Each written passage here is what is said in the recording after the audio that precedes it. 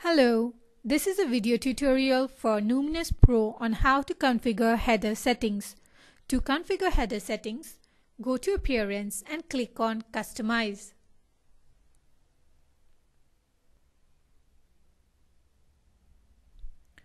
Click on Header Settings.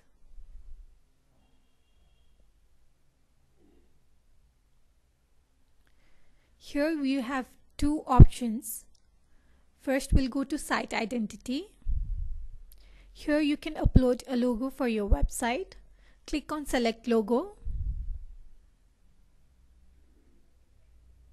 You can upload an image or select an image from your media library for your logo. Similarly, you can enter your site title and site tagline. You can choose to display or not to display site title and tagline in the website. You can also upload a site icon. Once you're done, click Save and Publish.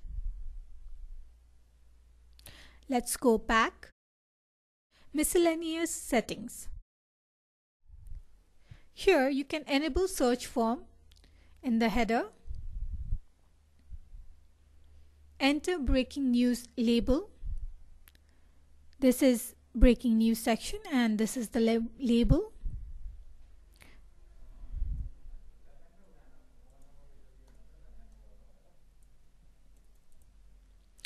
Choose the category for the section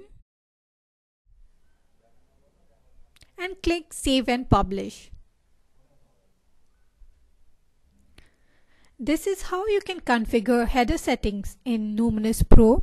If you have any query or confusion while setting up Numinous Pro, please feel free to contact us using our support ticket. Thank you.